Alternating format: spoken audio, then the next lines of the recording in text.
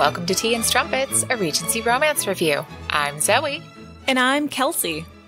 And we're here today to talk about a book that we picked from our governess trope list episode. And I can't believe it took us however many episodes, list episodes that we did to finally realize we should be picking a book from it. I know, right? That was our brilliant stroke of genius. I again, I think it's really funny because every time we've done those lists, especially if we had one we had where we're like, "Oh, that sounds really interesting. We should read that." Yeah, we should have. And we should have talked about it on the podcast and we're doing that today, and I am so glad we did. Yes, and I am also introducing a new thing on the podcast, which is new author November.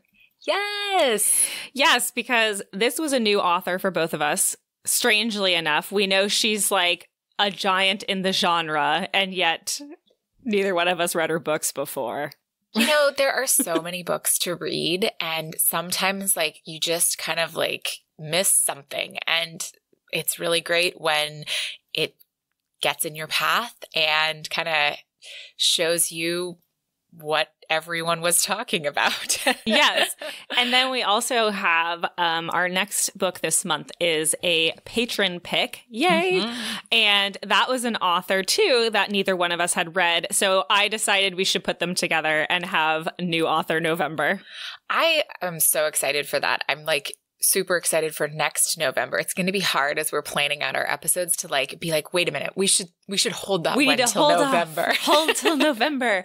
Um, yeah, but I think it's really interesting because I mean, we read new authors all the time, but I think it's also a nice time to dedicate yes time to new authors. So now we know for sure, even if next year, whatever we decide to do, whether it's favorites, whatever, we'll talk more about that another time. Mm-hmm maybe later today um, about how we're going to plan next year. But regardless of that, in November, we will read something new to us.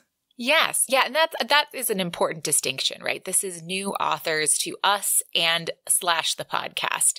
Um, authors that we have not highlighted or really are familiar with. Doesn't necessarily mean they're new to the scene or this is their first book because that is certainly not the case with Amanda Quick, but it is new to us, new to the podcast, and hopefully something new to you guys. Yes. So today, based on our governess read, we decided to go with the one that flipped the trope a little bit. Yes. So we had a male tutor and a female employer. And so today we're reading Deception by Amanda Quick. And as this is the first time that we are reading an Amanda Quick, we do have her biography for you all. So, the author of a string of New York Times bestsellers, Jayne Ann Krentz, uses three different pen names to write each of her three worlds. As Jayne Ann Krentz, her married name, she writes contemporary romantic suspense. She uses Amanda Quick for her novels of historical romantic suspense. Jayne Castle, her birth name, is reserved these days for her stories of futuristic, paranormal, romantic suspense. Is Jayne Castle not the best name ever? Oh, it's amazing. I mean, all of the, all of them are fantastic. And I just like that that was her name. Also, she spells it Jayne J A Y N E, which I think just makes it even better. Mm-hmm. She says, quote, I am often asked why I use a variety of pen names, she says. The answer is this is that this way readers always know which of my three worlds they will be entering when they pick up one of my books. In addition to her fiction writing, she is the editor of and a contributor to a nonfiction essay collection, Dangerous Men and Adventurous Women, Romance Writers on the Appeal of Romance, published by the University of Pennsylvania Press. Her commitment to her chosen genre has been strong from the very beginning of her career. Quote, the romance genre is the only genre where readers are guaranteed novels that place the heroine at the heart of the story, Jayne says. These are books that celebrate women's heroic virtues and values, courage, honor, determination, and a belief in the healing power of love. She earned a BA in history from the University of California at Santa Cruz and went on to obtain a master's degree in library science from San, San Jose State University in California. Oh, my neck of the woods. Before she began writing full time, she worked as a librarian in both academic and corporate libraries. She is married and lives with her husband Frank in Seattle, Washington. And there is a Fated Mates interview with her this year, which is part of their Trailblazer series that was from January of this year. So you should check that out if you want to hear straight from her yourself. I think you absolutely should. I love her quote about Yes. the female heroines and heroic virtues and values, courage, honor, determination, and bel and a belief in the healing power of love. Ah, It's very good. so perfect. And yeah, I believe her books kind of all are intertwined, even though the worlds are all separate. I believe there is some sort of like interlacing. Like if you read her contemporary versus her historical, there are like Easter eggs in them. I, I can't, I can't be a hundred percent sure, but I'm pretty sure that I read that somewhere or someone told me. Anyhow, shall we talk about our tropes today? Let us talk about our tropes today. So today we have, as mentioned before, a teacher employer role reversal trope. Hmm. We have mistaken identity. A little bit. Yeah, yeah, yeah. Yeah, that's that is 100% mistaken identity and marriage of convenience and our favorite secret treasure map. Mm-hmm. And our main characters are Jared Ryder, Viscount Chilhurst, and Miss Olympia Wingfield. Yes, Well, Kelsey, shall we get into it? we shall. So we start with a prologue that tells us that Jared Ryder is the opposite of his family and has no interest in the buried treasure of his ancestors. However, his family is, and that is why he is speaking with the man who bought his great great grandmother's, or so maybe it's one more great, I don't know. There's a lot of greats there. Diary, which is said to hold the key to the treasure map. The man bought it for his niece, who loves old languages and code breaking, which explains the journal to a T. However, the journal is already in the ship's cargo hold. Luckily, Jared owns the ship the man is using. He tells his father and uncle that he will travel with the cargo the man is shipping back to his niece and offer for the diary when he gets there. No subterfuge, he literally just plans to follow the cargo, tell her the story, and buy the diary from her. Now we jump to Olympia Wingfield, who is a blue stocking spinster and quite happy that way. However, she does now have the custodianship of three nephews who keep running off every tutor she hires for them. When Jared meets Olympia, he is struck by a connection he wants to pursue. So instead of introducing himself by his title and telling her why he's really there, he tells her that yes, he is in fact a tutor hired by her uncle for the boys. And thus he is drawn into the household that is anything but dull. He personally cannot abide chaos, as he's kind of like a captain sort, and does his best to establish a bit more order in the house. But it soon becomes clear the house needs more from him than that. Turns out the neighbor who was meant to help Olympia sell her uncle's cargo in London has been giving her less than 10% of its actual worth and pocketing the money for himself. Then the same man's wife threatens to have Olympia's nephews taken from her because she is clearly unfit to trust a man who looks more like a pirate than her husband, the squire. Yes, perhaps we should mention that Jack Ryder wears an eye patch. Oh yeah, he's got one eye Yeah. from a fight from back in the day. Yeah. He's a very rugged sort. yes. That takes everyone to London, where it is soon revealed that Jared is no tutor and, in fact, a viscount. Due to a rather inopportune meeting with his ex fiancee, Jared introduces Olympia as his wife. So, of course, they must get married for real now. This is where things get wild because it turns out that the ex fiance's family are descendants of the man who was originally partners with Jared's ancestor, the one who hid the treasure. There's an old feud, and the ex fiance's brother thinks it's very unfair that his family is practically destitute while Jared's is rich. What he doesn't realize is that without Jared, the family would have been in the same boat. Yes, Jared is the order orderly moneymaker of the family. now, things get sticky when it turns out that Jared's right-hand man, Felix, has been embezzling funds due to a gambling problem and is now trying to also harm Jared. At one point, he even tries to kidnap one of the nephews in an effort to extort money from Jared. After breaking into the house and threatening Olympia, Felix is finally stopped with a very manly show of strength from Jared, and all's well that ends well. Jared's ex fiance's family agrees with Jared to move past the feud, and a small party consisting of members of both families plan to set out after the treasure. Jared has no interest in going. In fact, he wants to be with Olympia and the special kind of chaos she attracts.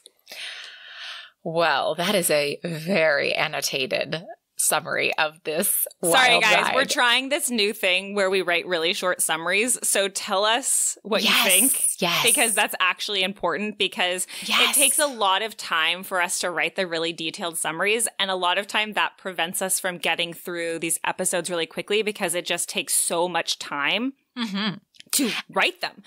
Yeah, and I'm not sure that that's what you guys come here for. I think the I I love a good summary like to remind me of the book or to tell me if maybe I want to get into the book, but I think we're trying to find that sweet spot of how much of a summary is the right amount of summary. so, exactly. So this one was definitely on the more brief side.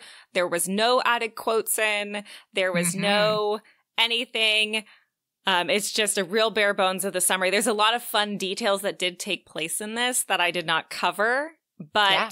let us know what you think because if yes. this is what you guys like and this is fine, then that makes my life a lot easier and we can do it this way. yes. And also now I'm like super jazzed to talk about this book. So shall we first adjourn to the parlor? We shall.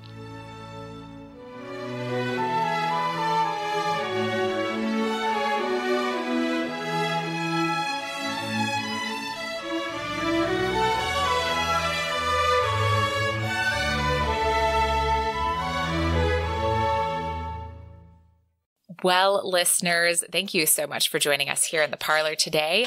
I just want to briefly mention our Patreon. As we said last episode, we hit our first goal and we are going to be launching some new goals. They're not 100% finalized, but I do want to mention that our next goal is definitely going to be um, community based. So right now we are so thrilled to have 19 patrons. Like, can you believe it?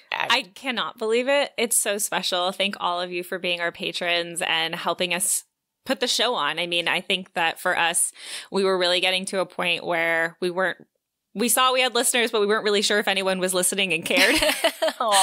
so um, it was. It's just been so great to have your support and your appreciation. It's really kind of helped breathe the new life into the show. So yeah, I mean, really appreciate it. I think I've said it so many times. Podcasting feels like shouting out into a big void sometimes, and um, it's a time consuming and kind of expensive hobby.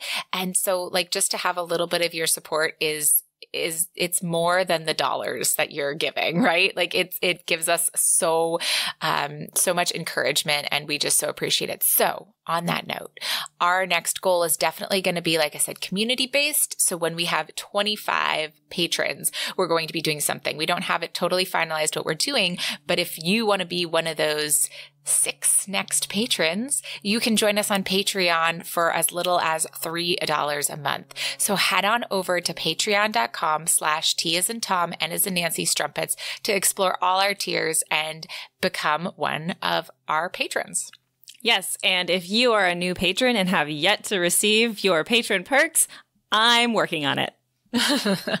We've had a busy couple of months and but we really do appreciate you all.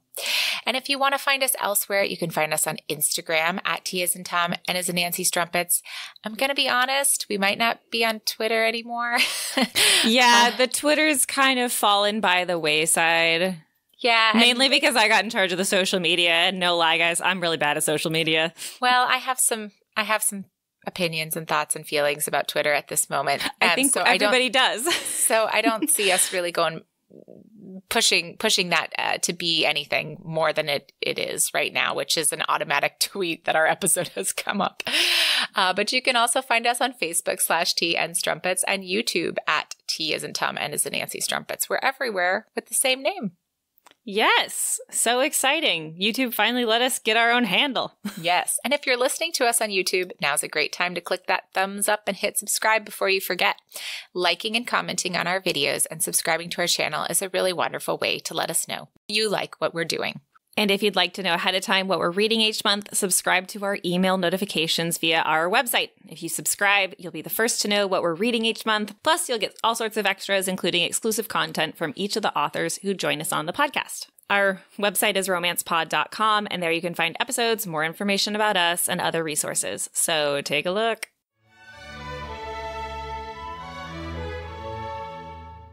All right. So, Kelsey, general thoughts about this book? So, this book was really fun. Like, really fun. It was really fun. I definitely saw the age of it in, mm-hmm. like, I think it's interesting because it's just in the way it was written, you yeah. know, and it's so interesting too. I, so I tried to pick up this side note but more on that topic of how books are written and what speaks to you because I think that's maybe why I haven't gone to read some of her books because it, the writing is a little bit dated.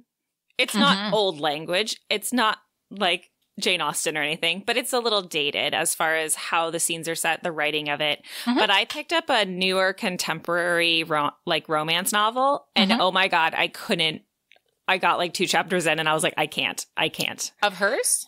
Of no, no, not of hers, of like some other authors. Oh, because okay. the writing was literally like a cheesy rom com, like on the mm. Hallmark channel. And I was like, I would be into this if that's what I came to, if I was watching it, then the language and the setting of it would make more sense. Yeah. But because I was reading it in a book, I was like, I can't, I can't. So then I picked up Eva Leigh's new novel and I read it voraciously and I was like, ah, oh, happy place. Yes. um, so I definitely, it took a minute. I mean, it took the prologue to kind of get into the vibe of it, mm-hmm. simply because, like I said, the language is a little older, very descriptive. It almost, it's funny because I think when I read these older books, there's almost a bit more gravitas to the way I read it. Mm-hmm. Like it's just the way it flows in my brain. It doesn't, it's not the same clip, I think, as like a modern or not a modern, but as like a today's romance novel, even a Regency, I feel like they kind of come in with a nice clip. Yeah. Versus this one was like, I need to set the scene. Yeah. There's you know, an old family legend. I I actually thought of that too when I was reading this, that this was a little bit older and I wanted to, because she's still writing tons. Mm-hmm.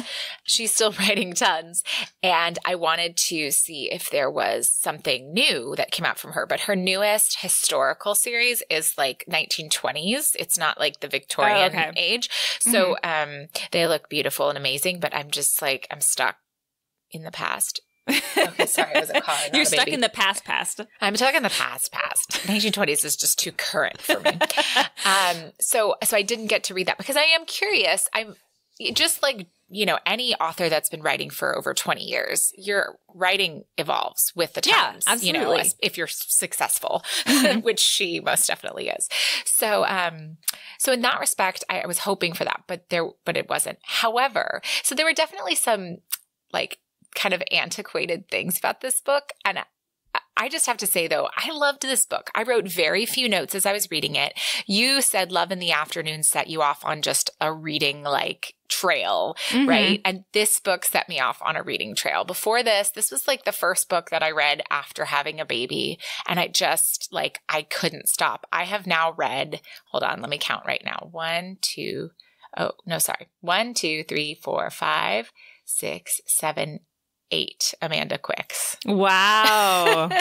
Dang. Since uh, July 26th. So, um, and I mean, like, look, it's, it's like July 26th. Then the next one I started July 26th. Then the next one I started, or sorry, yeah, I read Deception in a day. And then I read the next one like in two days and literally just like day after day, four or five books. And then I took a little break and came back. But like, um, I definitely found some of them to be incredible. Um, I think my favorite ones have been, well, I'm looking at my star ratings here. Ravished and Mistress, I liked a li- even a little bit more than this one. Um, I thought they were interesting tropes. Um, and then there were also some bonkers ones. Absolutely bonkers. Were you telling me about one of those bonkers yes. one the other day? it's the one about Zamar, ancient oh, Zamar, yeah. like this oh, fake yeah, yeah. civilization. It's absolutely bonkers, but it's the kind of bonkers that's still written really well and you just like can't turn away. You can't stop reading. Like it's so good. Anyhow, there's a there's a review. Maybe I'll read it at the end uh, for that one. But to talk about deception, I loved the flipped trope of the um the the tutor, you know, the male tutor. And I will say he was almost not full Mary Poppins, but he was almost a Mary Poppins esque because it's like the unruly boys, and like with a quick look and a word, he like has them enraptured, and she's like, Mhm. "What is this man that like fixes everything? I need him in my life. I need to run away to London to protect my nephews, but obviously he's coming with me." And I love too that even after my favorite thing is even after she found out he was a viscount, yeah. she kept bringing up that she's like, "Well, I'm still your employer." He's like, "Are you? Are you?" but I she's loved just like, her though. but no, she was just like, "Well, you're my employee, and as my employee, you need to do this." And he's like, "Uh huh, sure." yes. I thought So- it was hilarious. So, but back kind of to the the kind of old style of it. There was one thing, and you know me, if I read something in a book where it's like repeated over and over and over again, yeah, it yeah, yeah. definitely sticks out in my mind. Do you Mhm. know what I'm talking about in this one? No. Okay, woman of the world. oh, oh my gosh, yes. Oh my god, that was hilarious because he's actually been around the world and she's like, "I'm a woman of the world. I've read about the world in my library." yes, and I'm and okay, but it's in this book 21 times. Yeah, no, it was said a lot. that was definitely said a lot for sure. and and then reading more Amanda Quicks in some of them uh, it seemed like it was in all of her books to be honest and then as some of the later ones it kind of it, it stayed away and he, there was a man of the world uh, said every now and then too so Mhm. it's definitely probably like I, I can kind of imagine that it was, you know, too much in the beginning and then it became maybe a joke for her. And then she kind of kept it as like an Easter egg, you know, Yeah. sort of thing. Um, and I thought it was fun. Um, the other thing that I think is interesting after reading a lot of Amanda Quicks, and in this one too, I believe it's in this one, um, there's some relationship that, uh, there seems to be a female female relationship. Like there's Yes. two aunts or something, or two. No, there was the two aunts. So in this book, um, Olivia was raised by two aunts. One was Mhm. her actual aunt, and the other one was her aunt's partner. Yes. And And In- then the, and then there was the ex fiance who he actually. So Yes. it turns out he broke it off with the ex fiance because, and he just refers to catching her with a lover. but it was because her lover was what everyone just assumes is her best friend, another married woman. So Yeah. like, and it's it's funny because the brother thinks that Chilhurst made things up, and he's like, she would never. Like, you just wanted to get out of it. Like, yeah. how dare you? He's so mad at Chilhurst for like ditching his sister, and then it comes, and then, but it's because his sister never told him, I like women. He Yeah. caught me with a woman was clearly like, yeah, this isn't going to work as a marriage, even a marriage of like normal society marriage. This isn't going to work.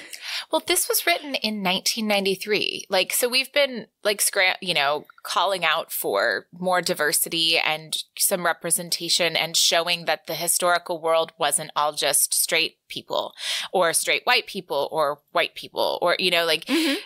and she's just always been doing it. You know what I Yeah. mean? Like, so I feel, I feel like, you know, I feel a little silly because it's like it's been there. There have been people, obviously, that's why Fated Mates calls her a trailblazer because she's been setting the trail for so long. Mm-hmm. And it's just there and it's in all her books. She always has a little hint of the world is not just straight or white. You know, in her in Mhm. her settings, and I so appreciate that. She also like as as we said in her bio, she does this kind of like romantic suspense or whatnot. So all her books have some sort of subplot other than just the falling in love.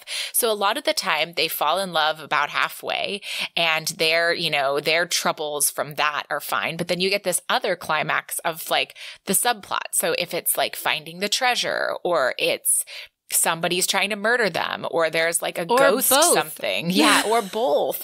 It's and it's such a fun ride. Like I've been having so, I had so much fun with all these books. I'm just like, yes, they're in love and now they're going to save the day and get the murderer. I, like- I do say I always like when like the third act of the romance is not the third act of some misunderstanding or some miscommunication. It is in fact an outside source that they Mhm. need to work then together, and that's what's really cements the relation like they love each other but then going through the trials of this outside force that they had mm-hmm. no control over or they are working together towards a common good and that is really what cements their relationship or that's kind of what maybe causes a little tension they have to work through like i always appreciate that lot a lot more than like a misunderstanding was one thing with the Eva Leigh that I just read, and in the third act there was like a misunder like it wasn't a misunderstanding. They misunderstanding, but they said it and then they kept away from each other for three days because they were so worried the other one was hurt. And I was like, I'm over it.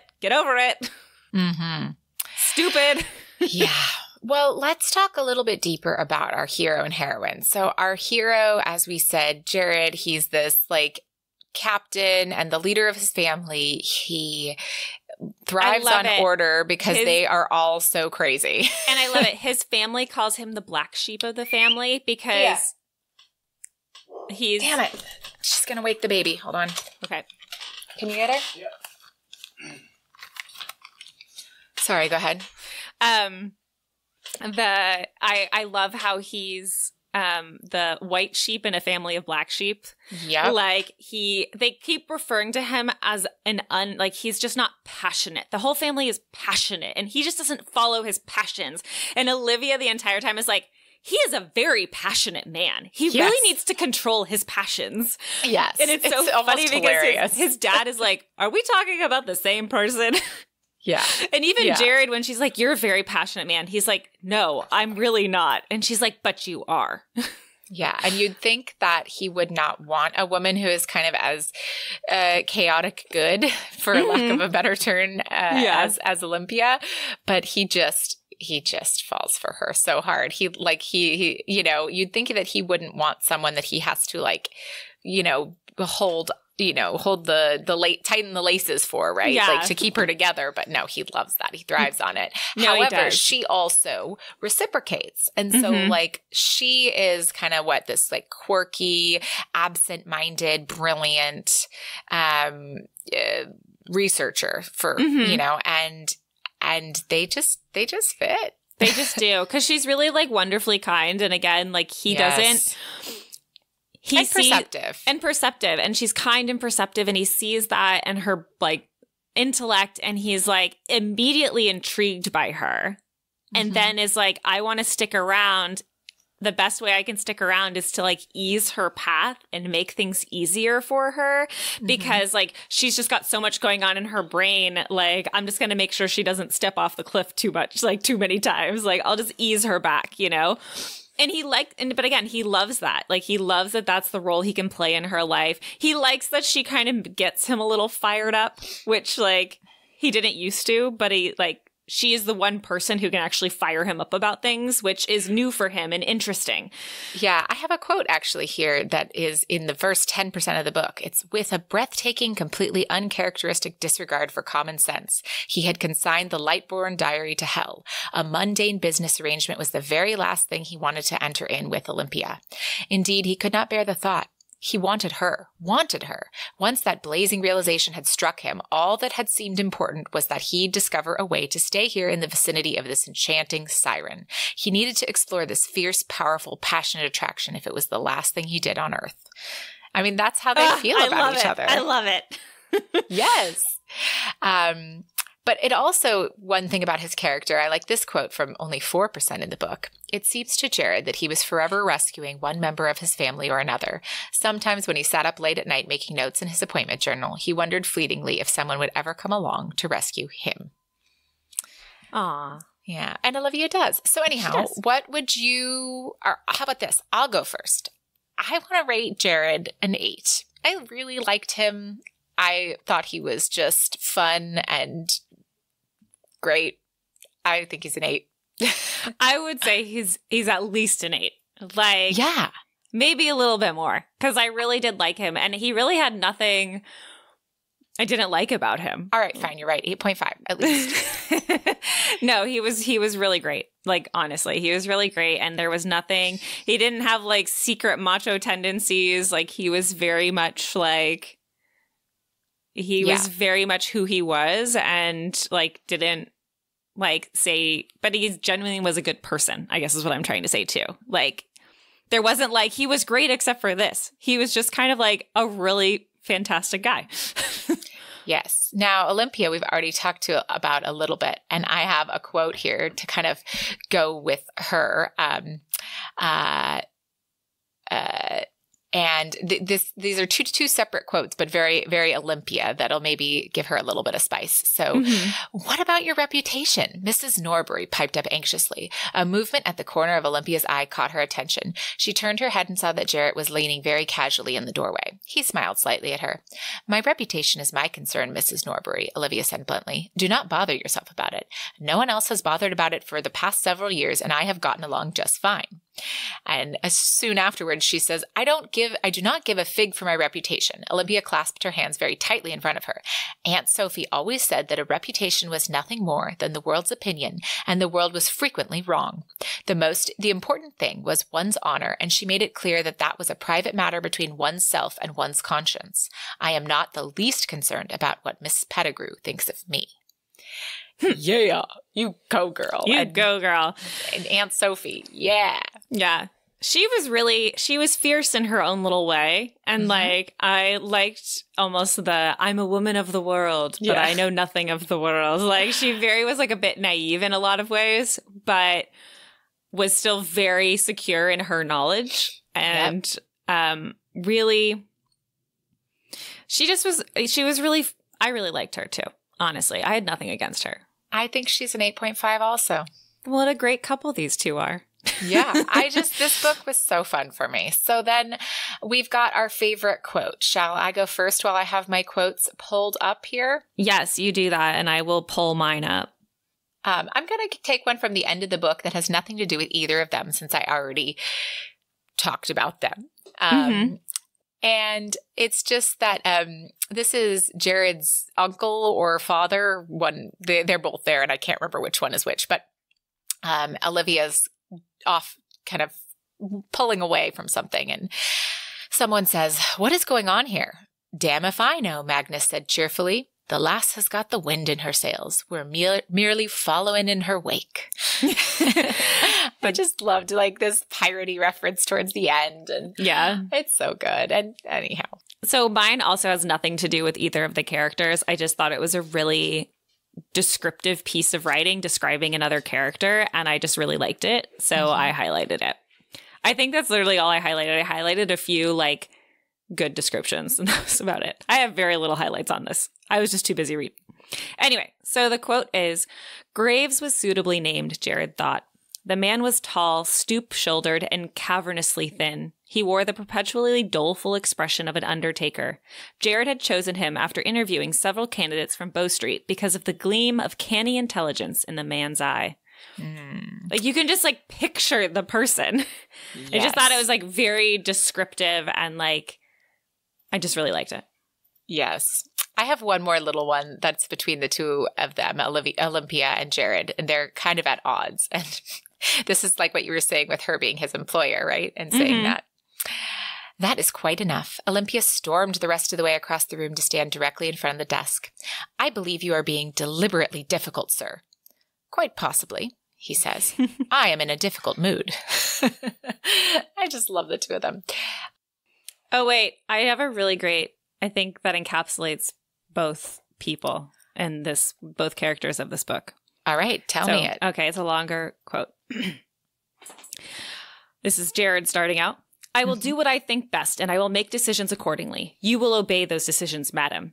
Olympia's mouth fell open. I will do no such thing. Not unless I happen to agree with those decisions, and I do not happen to agree with your edict regarding Mr. Seton. Damnation, Olympia, I am your husband. You will do as I tell you. I will do as I bloody well please, just as I always do, just as I have always done. Olympia stormed. She heard the library door open behind her, but she paid no attention. You will listen to me, Mr. Chilhurst, and you will pay close attention. Do not forget that I took you on as a tutor in this household. When all is said and done, it seems obvious to me that you are still in my you are still in my employ. That is a nonsensical thing to say, Jared shot back. You are my wife, not my employer. I just love the two but this them. is what I meant about like she's just constantly like, I'm your employer. He's like, We're married. No, you're not. All right. And so now we are to our steaminess rating and our encounter counter. And we're also joined by a special guest. So if you hear some noises, uh, Evie is with us now just for our, our finish up. Hopefully, hopefully you can help let us finish the rest of the podcast, little lady. What do you think? We'll find out. She always likes to make things difficult in my presence. um, yes. So for our encounter counter, uh, we're wondering if it's two or three. Both Zoe and I forgot to count, and we forgot to count. We're sorry. So there's there's at least one or two in there for sure. For sure, one or two. Yeah. and I I feel like it was perfectly steamy. Like it was just like a nice cup of tea. Yeah, no, perfectly steamy. Nothing like crazy raunchy, nothing like crazy hot and spicy, but like definitely like could not resist the woman in the library, which Oh yeah, enough. I do remember the library scene, and I enjoy a good library scene. All right, feminist recap. Oh, total supporter.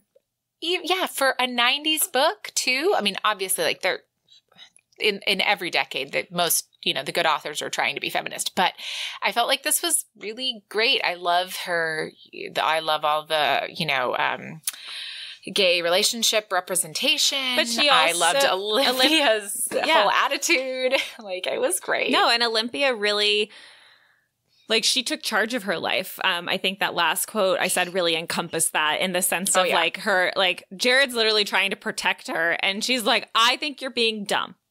So, yeah. like, don't tell me what to do. yeah, for sure. Uh, yeah, and, and I read her other books. I, I love that these women get to go on the eh. adventures eh. with uh, with the men, and they're just vital parts of the eh. story. Yeah, yes, they are. Oh no, oh no, sadness. Let's bounce a little, because we're getting to our final book rating, and aren't you excited to tell everybody what you think of the book? This was read while I was nursing you. Oh my gosh. so great. Uh, I think this book is definitely on the 8.5 level. So me too. I just I think this is this book is not perfect, but I love it. Yeah, no, for sure. I think that it's uh, I think it's a lot of fun. I think for our first foray into Amanda Quick, it was quite good. Um, there wasn't any it silly. certainly set me off. Yeah, and I think it was. I mean, it had all the things that I originally loved about a lot of romance novels that I would read a lot of. You know, I love a romance novel.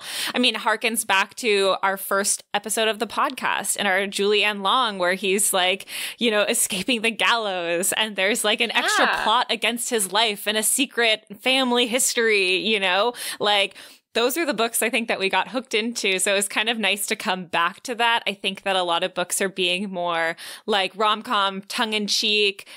Um, which I love, but at the same time too, I love a crazy adventure story, and I love yes. that that's what we got with this.